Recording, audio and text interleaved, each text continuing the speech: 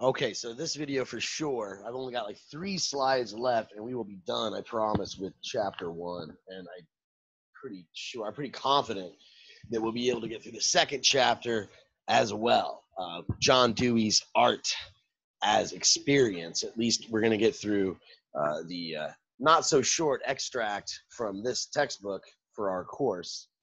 And um, anyway, so let me get the uh, PowerPoint going here. We're actually going to repeat uh, a little bit from our last uh, video. We'll kind of start where we left off, but back up just a little bit, right, with this this quote here. Um, and the next slide is a pretty pretty long quote, um, but it it kind of piggybacks off of this one. So let's read this, and then we're gonna like I promise you, we'll get to chapter two shortly. Chapter two is is more of a general theory of experience and what what Dewey means by you know, what does he mean when he says, uh, you know, we have an experience? What is an experience in general? What's an aesthetic experience?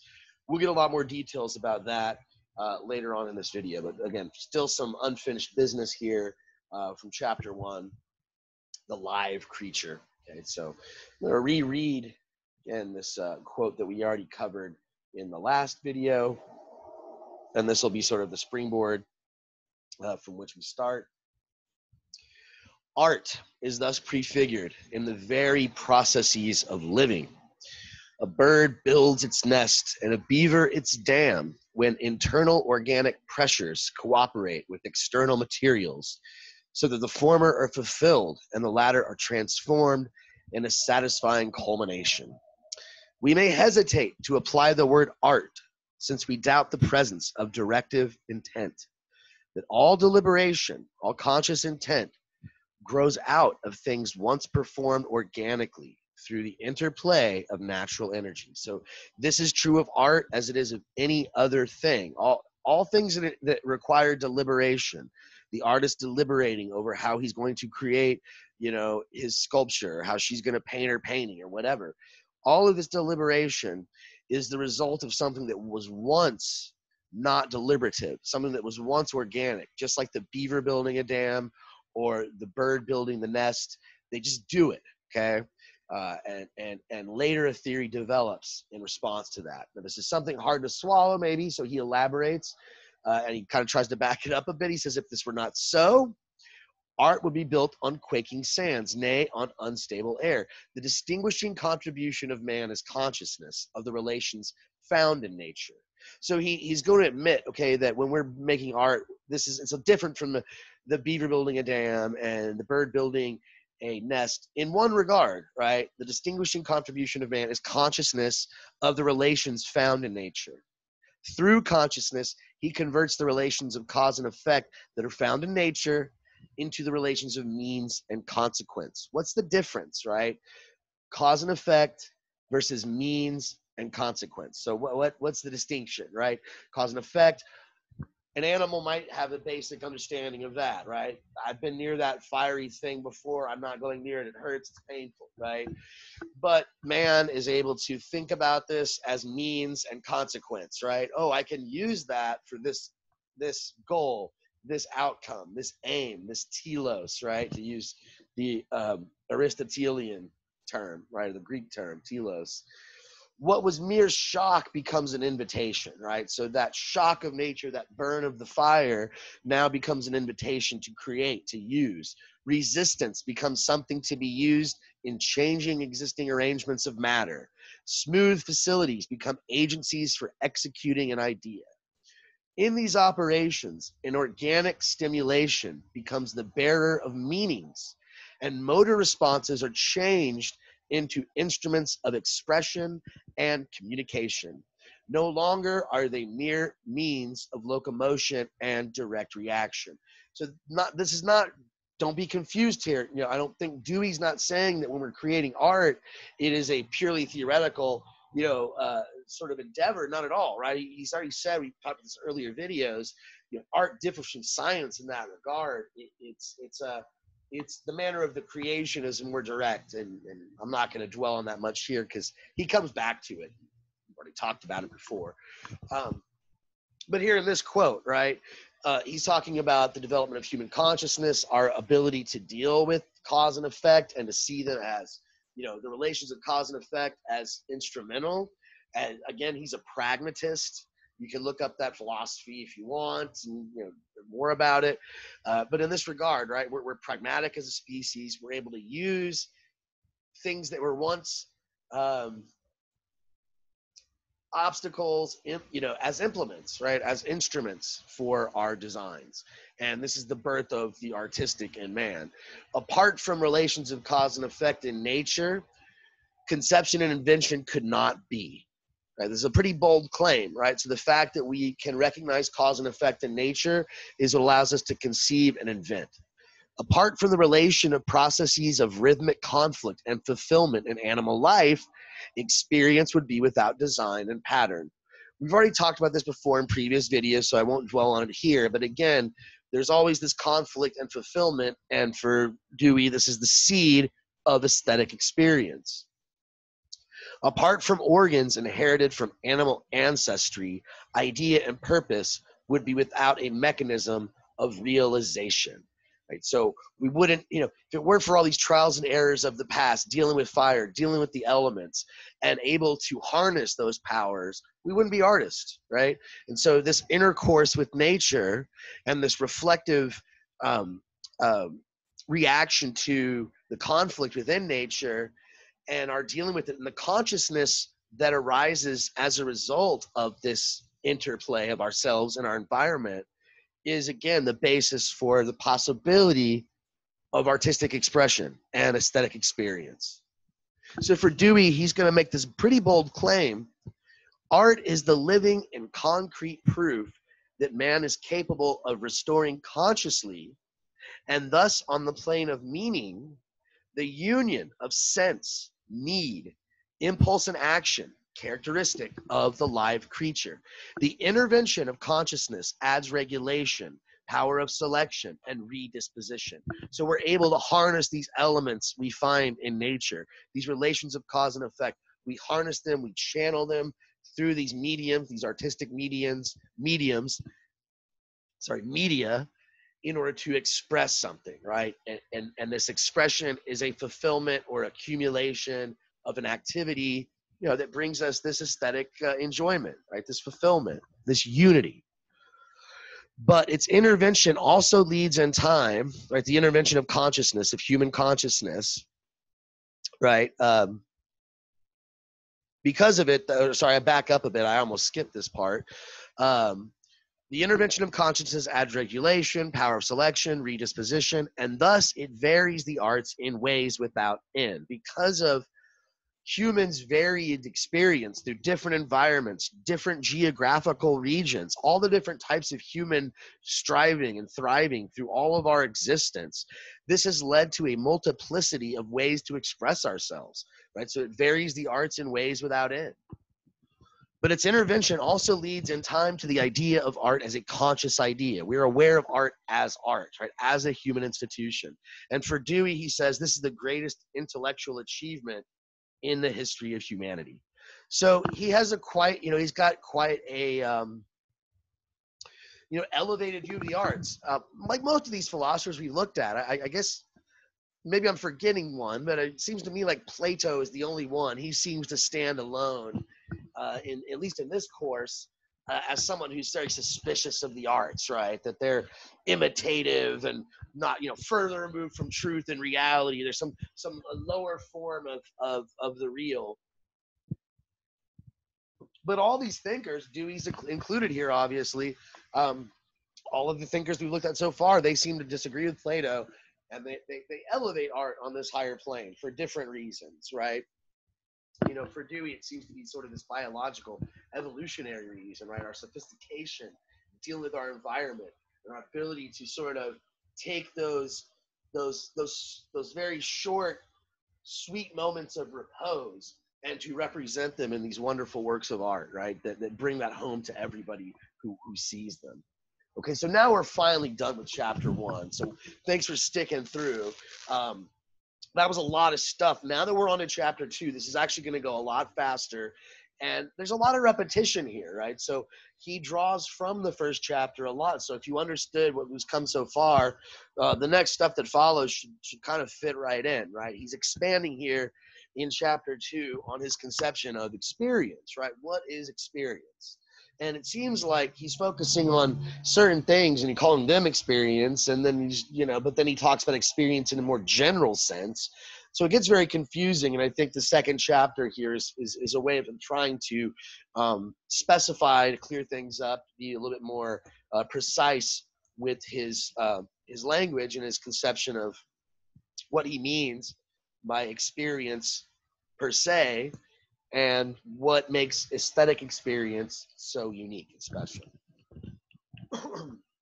so right at the beginning of the chapter, he writes, "Experience occurs continuously." because the interaction of live creature and environing conditions is involved in the very process of living. So, in a certain sense, we're always having an experience. Okay? Under conditions of resistance and conflict, aspects and elements of the self and the world that are implicated in this interaction qualify experience with emotions and ideas so that conscious intent emerges, right? So this should all be a bit of a review, right? The living organism lives in an environment which there's resistance, conflict, there's elements and aspects of the self and the world around the self that are implicated in this interaction. And they give our experience a sort of feel, a, a, a sort of um, gestalt. There's emotion and ideas uh, that emerge from this interaction. But oftentimes, he says, and this is sort of like, you know, him saying, well, it's not always the case. In, in, a certain sense, we're not having an experience always, right? Not all experience is this way. There are some times when we're not really having an experience. Oftentimes, however, although we might use the term experience, the experience that we have is inchoate, right? Things are experienced, but not in such a way that they are composed into an experience. There is distraction and dispersion. What we observe and what we think, what we desire and what we get are at odds with each other. We put our hands to the plow and turn back. We start, then we stop. Not because the experience has reached the end for the sake of which it was initiated, but because of extraneous interruptions or of inner lethargy, right? So, right, I've just got this photograph here, kind of to be silly, of you know these kids in the classroom you know, not paying attention to the lecture, right? I think this is kind of what he has in mind. They're they're they're they're obviously, you know, experiencing life or they're living and they're part of an environment, but it's not really everything's inchoate as he puts it, right? Um, they're just bored. They're they're kind of like you know looking for distractions. They're not really focused on the lecture. Uh, there's not like a sense of tension and culmination, right? It's just sort of a sluggish, sort of slow, kind of docile you know, marking the clock and ticking by, right? Doesn't have those features of experience that he focused on um, so much in the last chapter, which he drew um, aesthetic experience from. So, in contrast with such an experience, we have an experience when the material experience runs its course to fulfillment. Then and only then is it integrated within and demarcated in the general stream of experience from other experiences. A piece of work is finished in a way that is satisfactory. A problem receives its solution. A game is played through. Such an experience is a whole and carries with it its own individualizing quality and self sufficiency. It is an experience. Right? So this is always the mark of an experience. It has this unity, this completion, this this satisfaction, right?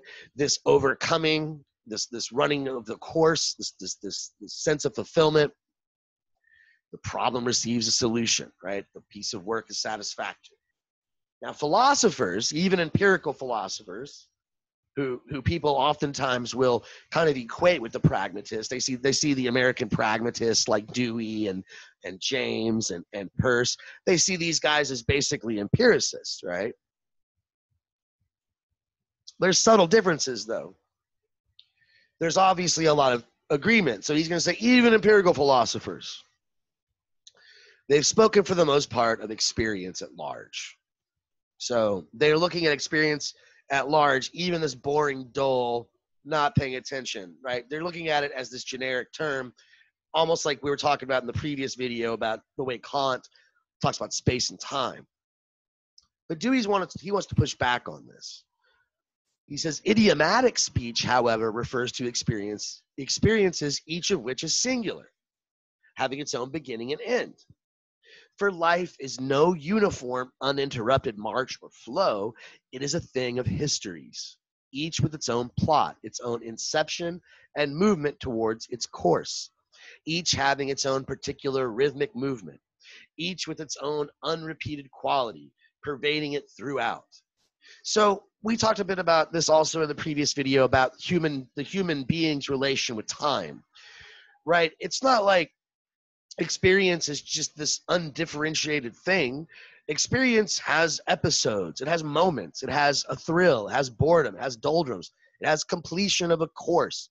Right? I, I finished this semester, I get that grade, I finished my degree, I graduated from high school, I got married. Right? There's there's these sort of, you know, the, the relationship ended, the relationship begins, right? All these sort of things um, make up what we really typically mean when we refer to experience idiomatically. In such experiences, each successive part flows freely, without seam and without unfilled blanks, into what ensues. At the same time, there was no sacrifice of the self identity of the parts. A river, as distinct from a pond, flows, but its flow gives a definiteness and interest to its successive portions greater than exist in the homogeneous portions of a pond. In an experience, flow is from something to something, as one part leads into another, and as one part carries on what went before. Each gains distinctness in itself. The enduring whole is diversified by successive phases that are emphases of its varied colors, right? So when we're talking about an experience in this Deweyan sense, right, the way Dewey wants us to understand it, there are these sort of these breaks, these pauses, okay? There are these these episodes. There's this culmination, and each of these parts have a sort of its own sort of unique function or identity that comes together as a unity that fits together nicely. And he makes this interesting analogy between a pond and a river, right? So the pond is more homogeneous. You know, think of a still pond on a on a very still day with no wind. Right? It's just still and unified, but it doesn't have this sense of strife and completion. The river does, and yet the river has these moments of tension where the riverbanks come closer together, and there may be more more rocks and springs and brooks, all these things, and all of these have their own little personality and their own sort of uh, of, uh, of unique position that make the river what it is but they all come together into this enduring whole right so it is an aesthetic experience for Dewey. Because of the continuous merging, there are no holes, mechanical junctions, and dead centers when we have an experience. There are pauses, places of rest, but they punctuate and define the quality of movement. Continued acceleration is breathless and prevents parts from gaining distinction. In a work of art, different acts, episodes, occurrences melt and fuse into unity and yet do not disappear and lose their own character as they do. Right? So we watch a play. Um, we might find some stri- some scenes striking, some scenes humorous, fun, dramatic, right? Uh, they, they build tension, they relieve tension. Each scene has its own sort of unique character.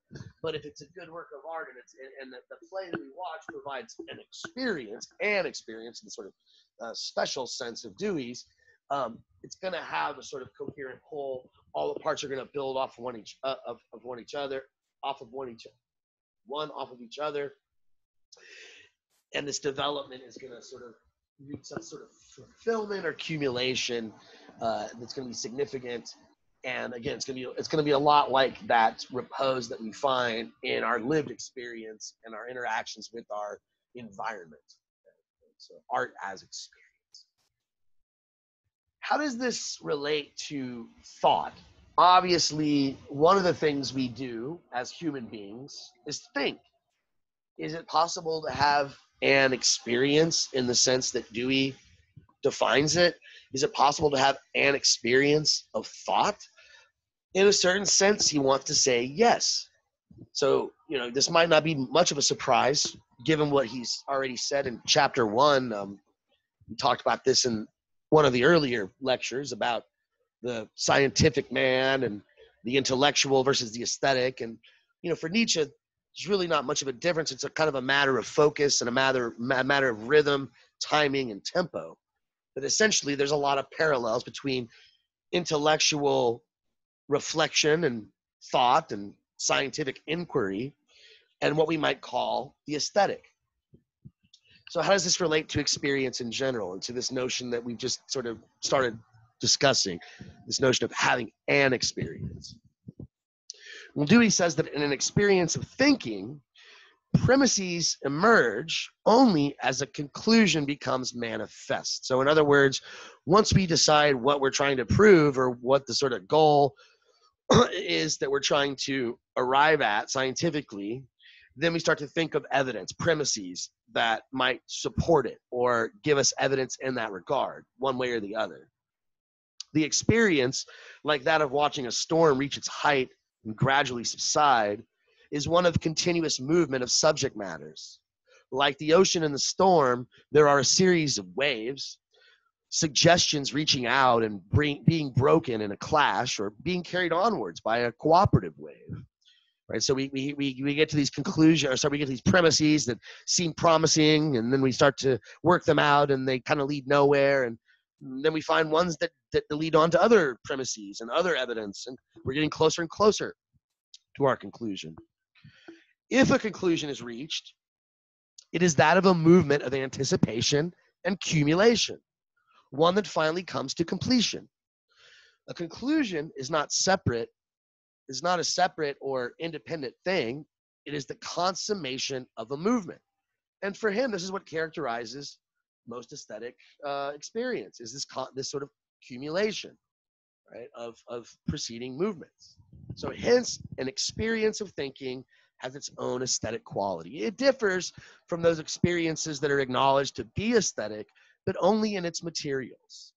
The material of the fine arts consists of qualities. That of experience having intellectual conclusion are signs or symbols having no intrinsic quality of their own, but standing for things that may, in another experience, be qualitatively experienced. So, in other words, if you're a scientist and you're using mathematical formulae or equations, say you're a physicist, these symbols, these formulae that you're writing down on your notebook and you're you know working out in your your paper, they stand for something else, right? They stand for something actual, right? They're a symbolic marker, okay? But the material of the fine arts, as Dewey puts it, consists of qualities, okay? Unlike the intellectual, we're dealing with symbols that stand for things that might actually, you know, if you understand what the the you know Newton's laws are, and, and you're a really good physicist, you can use your imagination to sort of understand you know picture in your mind them at work in reality in experience but in art it's direct right? Art itself presents the experience directly. This is key for dewey right? Remember the title of his book art as experience. So the difference he says is enormous and that's the reason why the strictly intellectual art will never be popular as music is popular right? You know we have to understand the symbols and what they stand for to really appreciate the truths and maybe the aesthetic appeal of physics or mathematics whereas art is direct right? It gives itself directly to us and we either get it or we don't. And we don't have to have it explained if we get it. What is even more important is that not only is this quality a significant motive in undertaking intellectual inquiry and keeping it honest but that no intellectual activity is an integral event in other words is an experience unless it's rounded out with this quality. He's talking about the quality of coming to a conclusion, accumulation, something like this. Without it, thinking is inconclusive. In short, aesthetic cannot be sharply marked off from intellectual experience, since the latter must bear an aesthetic stamp to be itself complete, right? So while we, we tend to distinguish between, you know, some intellectual in, you know, some library reading, read, reading a book, trying to come to a conclusion about some metaphysical, uh, uh, conclu- you know, some metaphysical truth, or some epistemological truth about, about knowledge, um, we don't imagine an artist. We don't, we don't think of that as aesthetic, right? That's not something we uh, uh, uh, normally associate with the term aesthetic experience. But Dewey's saying here that it could be if it, it results in insight, right? If at the end of this contemplation and this, this intellectual engagement with the philosophical text or a mathematical problem, if it results in some conclusion and some realization and understanding and, and, an end result, it's aesthetic. Right? It still counts as aesthetic for uh, for Dewey. Now, practical activity. This is where it gets tricky, right? Practical activity for Dewey is not aesthetic. It's in a sense unaesthetic, um, for the most part. I mean, this really is only if, like in the intellectual activity of thinking, there's no resolution, there's no accumulation, right? It's just this monotonous, endless process, right? In that case, practical activity would not be aesthetic either. The same statement holds good, of course, of action that's dominantly practical. That is, one that consists of overt doings, it's possible to be efficient in action and yet not have a conscious experience, right? Like these ladies here in the factory, right? They might be so used to the movements of, you know, packaging all these Twinkies into their packages, they're not even really consciously thinking. They might be thinking about other things completely elsewhere, and their body is just going through the motions mechanically, right? The activity here is too automatic to permit of a sense of what it is about and where it is going. It comes to an end but not to a close or consummation in consciousness, right? These ladies are might get, get to the end of their shift and go clock out and, and, and end the day, but they're always going to have to come back tomorrow. There'll be more Twinkies to put in more boxes, to, you know, more conveyor belts. It's an endless, there's no consummation. Obstacles are overcome by shrewd skill, but they do not feed experience. There are also those who are wavering in action, uncertain, and inconclusive, like the, like the shades in classical literature.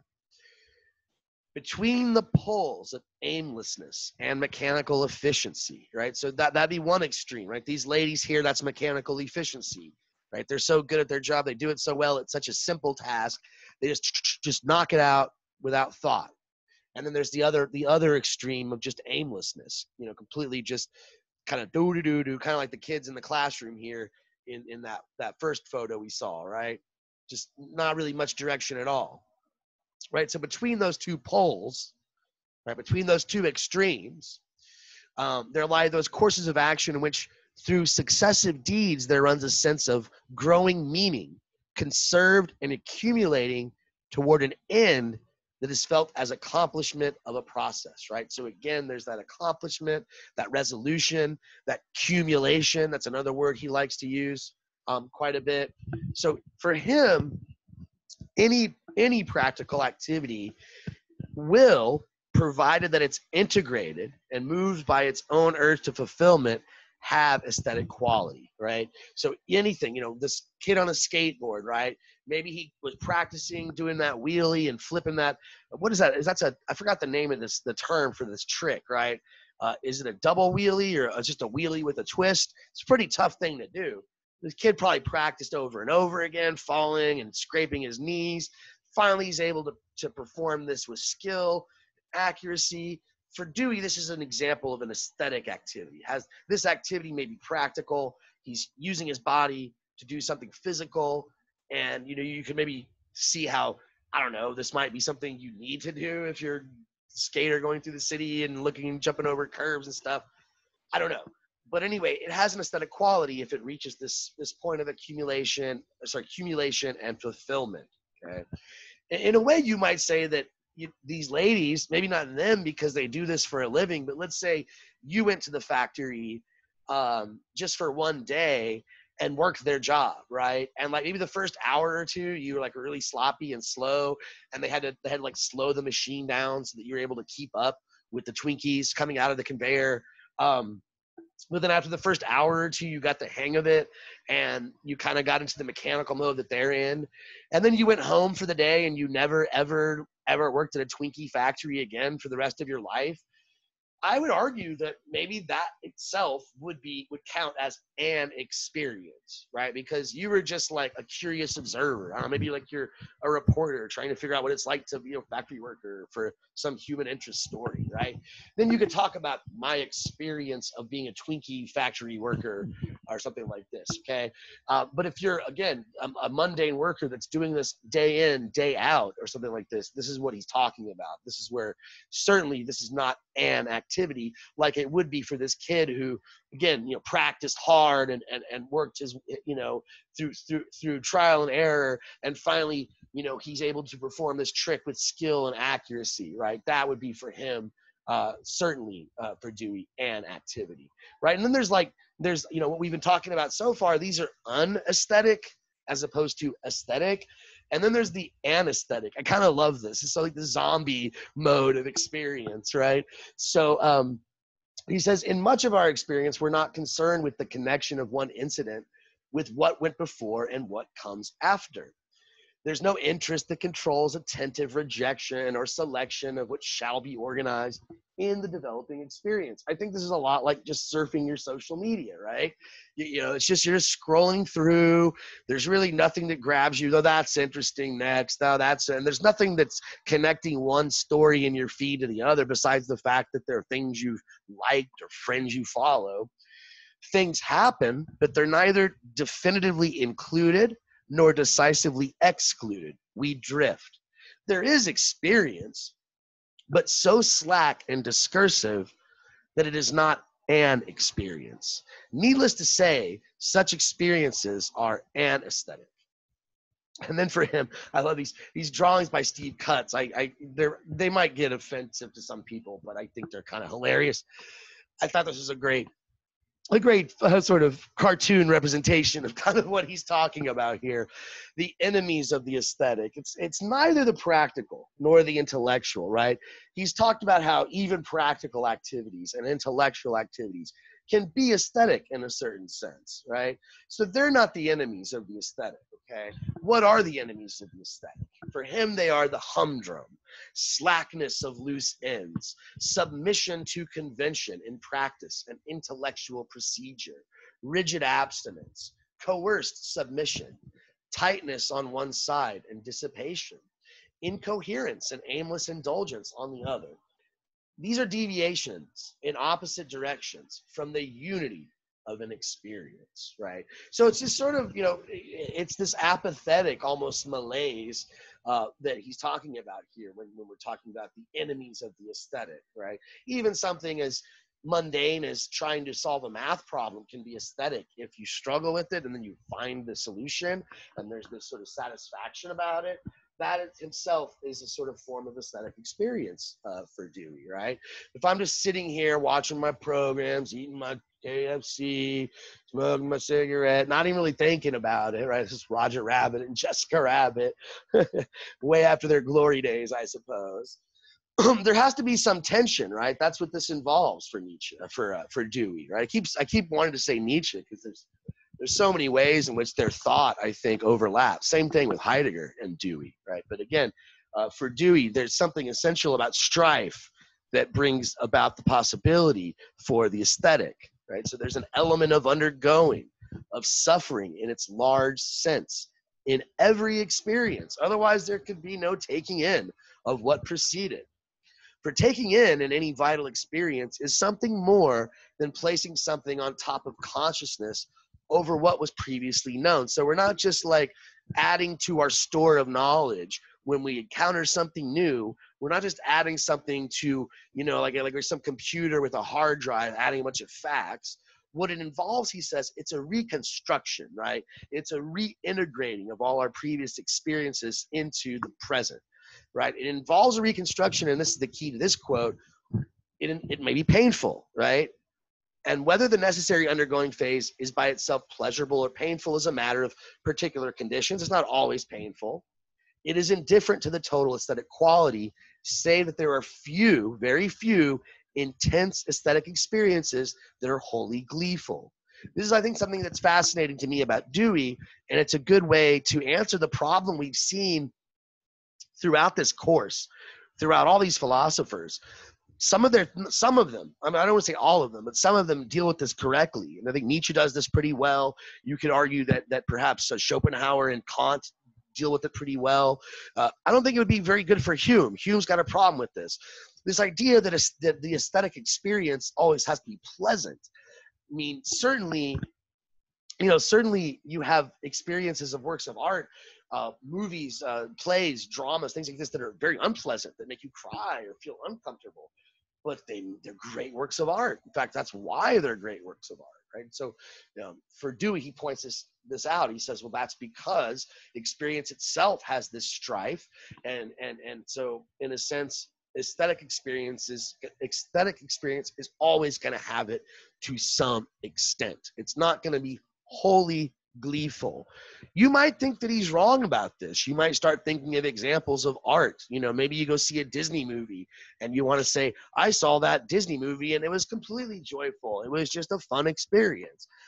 But he might push back and say, even something as silly and like child, you know, some G rated thing like a Disney movie, it's going to have moments of strife and you're going to have resolution and conflict of some sort, right? You know, Finding Nemo. They got to find Nemo, right? As cute and fun as that movie is, there's tension, right? So they're certainly not to be characterized as amusing. They're not just amusing. And as, as they bear down upon us, they involve a suffering that is nonetheless consistent with and indeed a part of the complete perception that is enjoyed. Again, so there has to be some sort of tension uh, and then resolution, obviously, for the aesthetic to occur in our experience. Now, we talked already about emotions. We, we talked about um, how emotions in our environment are intrinsically tied, right? Inextricably tied. But how do the emotions relate to experience in this context? Well, he kind of repeats a bit of what he's already said before about the emotions. So let's just sort of read this quote here and we'll see how this is a bit of a maybe an elaboration on what's gone before he says we're, we're given to thinking of emotions as things as simple and compact as are the words by which we name them. So we assume that emotions are simple, compact, just like things like the words that we use joy, sorrow, hope, fear, anger, curiosity. These are treated as if each in itself were a sort of entity that enters into, sorry, enters full made upon the scene. Enters full made upon the scene. An entity that may last a long time or a short time, but whose duration, whose growth and career is irrelevant to its nature. In fact, emotions are qualities when they are significant of a complex experience that moves and changes. So, Dewey is saying here that emotions are not just these separate entities that we attach to certain things that just pop up on the scene. For him, emotions pervade the entire experience, right? They are qualities of a complex experience that moves and changes, right? The intimate nature of emotion is manifested in ex- the experience of one watching a play on the stage or reading a novel. It attends the development of a plot. And a plot requires a stage, a space, wherein to develop and time in which to unfold. Experience is emotional, but there are no separate things called emotions in it, right? So when I feel sad, for instance, that sadness colors my world. The world appears sad to me. As silly as it sounds, if I'm sad, I look at the desk and it's a sad, depressing desk, right? If I look at the piece of paper, it's a depressing piece of paper, right?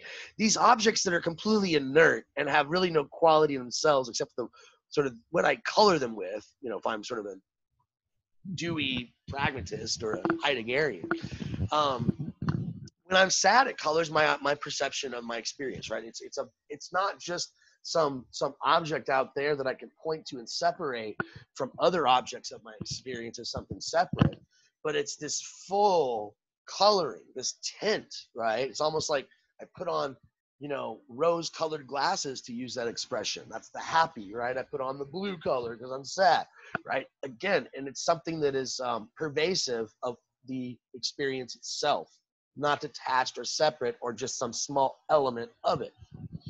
By the same token, emotions are attached to events and objects in their movement. They are not, save in pathological instances, private. This is kind of a sounds like a crazy theory, but in a sense, you know what he's saying. There's he's got there's something to it.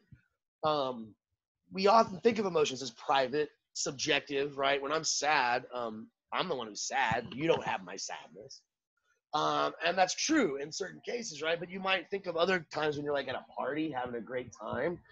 There's a certain mood, there's a vibe, to use that more like I guess contemporary term. Um, there's a vibe to the party, an aura to the party, and uh, it sort of pervades the party. And, and it's, it's not private because it's a part of the environment, and it's something that all of us as party goers are can tap into. We can all feel it, and we all know that we feel it. And even if there's some dude at the party who's in the corner who's not feeling it, we we know he's not a part of it, right? And he can probably, and even him, if you're if you are that guy, you can look at us and you know we're feeling that emotion. And so again, I think this is the point that Dewey's trying to make. Emotions aren't private in the sense that we like to think.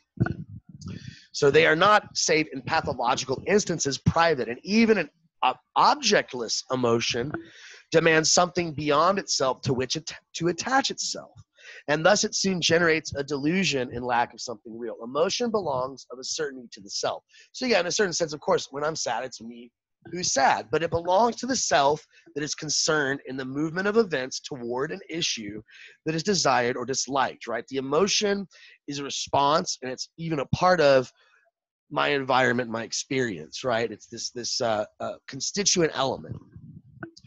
It's not something that I, I, I arrive at by reflection right? We jump instantaneously when we are scared as we blush on the instant when we are ashamed. But fright and shamed modesty are not in this case emotional states. Of themselves they are but automatic reflexes. In order to become emotional they must become parts of an inclusive and enduring situation that involves concern for objects and their issues. So, what's the point that he's making there in the second half of the quote? That's pretty vague. What he says here about, um, you know, jumping instantaneously when we're scared, this reminds me a bit of Jean Paul Sartre in being a nothingness. He talks about emotions like shame. And, and Sartre, obviously, he is very influenced by the work of Heidegger. I've already talked many times. I keep dropping Heidegger's name a lot of parallels between Dewey, I think, and Heidegger here. Um, but yeah, emotions are not something that we arrive at by reflection, right? When you do something and you're caught doing it, it's something you should be ashamed of. You don't have to think, oh, you know, he's looking at me. What I'm doing is shameful. Oh no, now I'm ashamed. No, it's instantaneous. It's like a reflex, okay? And so when we use emotions in a way that's conscious, when we're using them in a way where we see them as emotions and we separate them from the environment, he says, that means that it involves a concern for the objects that's different and their issues, right? It, it involves a sort of awareness, a conscious awareness and a manipulation, right, of the environment, right? And a channeling perhaps of those emotions, um, you know, in artistic expression, if you're an artist, or I guess in an emotional outburst if you're like one of us, okay? But a little bit more on emotions. We're almost done with this video, but let's wrap up chapter two, okay? Emotion is the moving and cementing force. It selects what is congruous and dyes what is selected with its color, thereby giving qualitative unity to materials externally disparate and dissimilar, right? So it gives an order to my my world, right? Again, if I'm sad, everything appears as sad to me. All these objects that are separate, you know, I, I, I notice them insofar as they are a reflection of my sadness, right? Or my happiness, right? In this picture, obviously, these guys, you know, got LeBron James here, and they have they, they just won their championship, and they're, you know, overcome with joy and emotion, right? And this this emotion, again, it's a communal joy. They all are celebrating. They all feel it. They all know it. Um, and so it provides a unity in and through the very parts of an experience. So emotion gives a sort of whole, a completeness, a unity to experience. It draws in all these parts together. And when the unity of the sort already described, sorry, when the unity is of the sort already described, the one he's been talking about throughout the book, you know, this unity of cohesion and accumulation and all the stressful things in the environment are dealt with and overcome. You know, when that's the case, you know, even though it's not dominantly an aesthetic experience, he says it has an aesthetic character, right? So even though you might not think of a basketball game as as an aesthetic, you know, work of art, right? It's not thought of as aesthetic experience. If it if it's overcome with these feelings of emotion and unity, and the crowd is, you know, the fans are in with it, and they're they're excited too, and it, it's it's after this long drawn fought you know, drawn out, fought uh, hard for. Uh, I can't talk all of a sudden. This is the last uh, uh lecture I'll be giving for the day because I'm completely out of steam. Right? You could probably tell just by the tone of voice that I'm using. Right? But again, right, this basketball game has a sort of aesthetic character because of it's it's completion right? It's it's it's the end of the series. It's it's through through pain and trial and error and struggle and losing games and winning some and bad moves and good moves overcoming right? And this is what gives it this sort of aesthetic quality for for dewey right? And this is for him what makes art so much better than uh, other modes of thinking and thought like social science when it comes to explaining human emotion and human experience. And, you know, we're already over, you know, maybe like 45 minutes into the video here. So I think I'm actually going to start the next video here on this slide and we'll uh, we'll kind of wrap up chapter two at the very beginning of the next video. I know I said I'd finish it, but you know how I am. I go off on these tangents and I get all, you know, bound up and worked up and excited and you know, the video that I wanted to be 20 minutes is now 45 minutes, and you're probably like, geez, move on, Professor Ross. Let's get into some nitty gritty stuff. We will. All right. Next video, we're getting into the third chapter. We're going to talk about artistic expression and what it means to be expressive in general. And uh, I think it's fine that we have a few more slides here to go to wrap up chapter two, because this will be a good segue, I think, to that topic. All right. So um, thank everybody for sticking around. Uh, if you're one of my students at U of H, you kind of have to stick around for this. Just watch this for fun. Thanks again. Hit subscribe if you want to be updated for uh, more videos are posted. And there's a lot more Dewey to come. I think we got at least another four or five videos before we wrap things up with uh, John Dewey we're going to move on to Martin Heidegger's work, The Origin of the Work of Art. And I'm excited about that. Big Heidegger fan. Um, so that should be pretty cool. Uh, so I hope you stick around for that one as well. And thanks for doing this. See you on the other side. Cheers.